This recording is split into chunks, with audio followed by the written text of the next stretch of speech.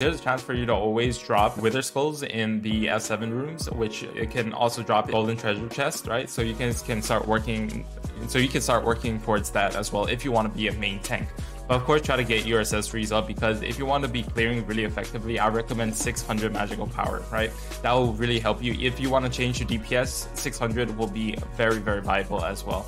So I hope that really helps in your dungeon grind. I hope that helps other people who are also needed of a guide on uh, stuff to get.